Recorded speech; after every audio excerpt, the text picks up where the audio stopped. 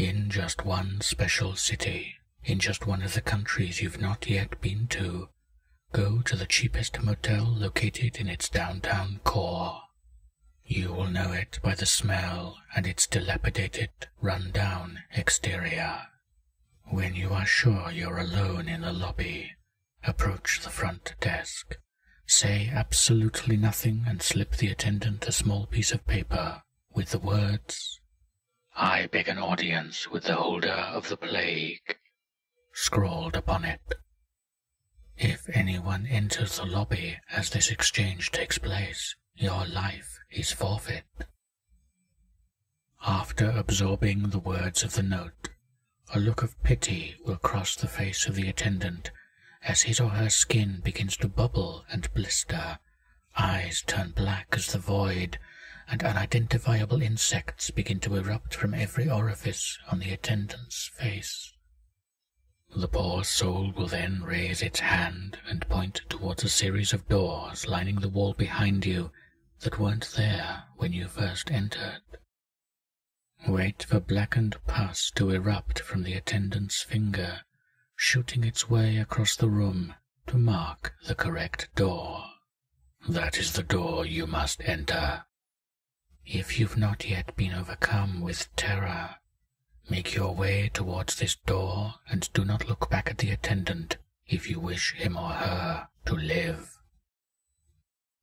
The first thing you will notice as you cross the threshold of the door is the putrid stench that assaults your nostrils. Breathe deep these aromas of death, decay, and rot, for they imbibe your senses with the strength to handle a meeting with whom you seek. Second, you notice the walls, floors, and ceiling seem to be made of maggot-infested flesh, springy and squishy underfoot. You will then start to hear the dry, crackling sound of biological decomposition, amplified and sped up a thousandfold to pry at your sanity like a swarm of insects nesting in your ear. As you make your way further down the hall of disgust, foul-smelling blood will begin to rain down on you from the ceiling. Do not try to wipe it away for it serves as yet another barrier to keep you safe from the dangers of this holder. If you've made it this far and have followed instructions to the letter, you will arrive at a door made from stitched together, dismembered body parts. Place your hand on the door and focus your thoughts upon the holder you seek. When your call is answered, Piece by piece the door will begin to fall apart, starting from the top and making dull, wet thuds as they hit the blood-slicked floor of maggots and meat. You may now enter the oubliette of infection.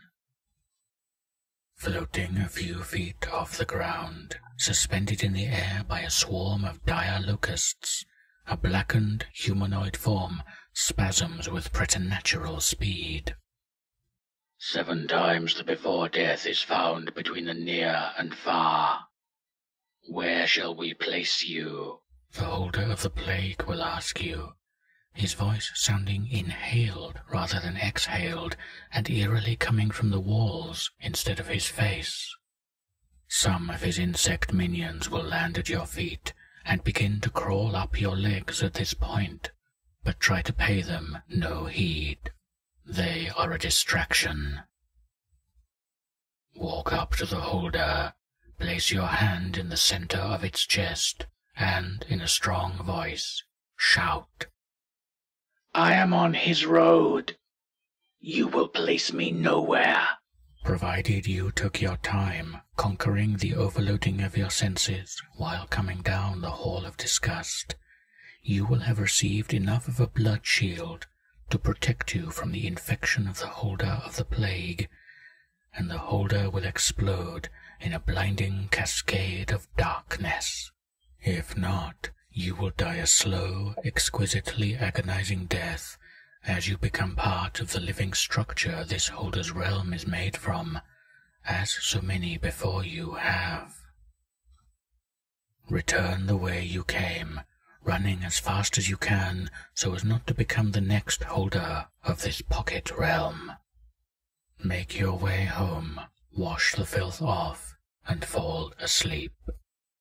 When you awake the next morning, you will find a dark green handprint upon your stomach that rests under your skin, not upon it as a tattoo would.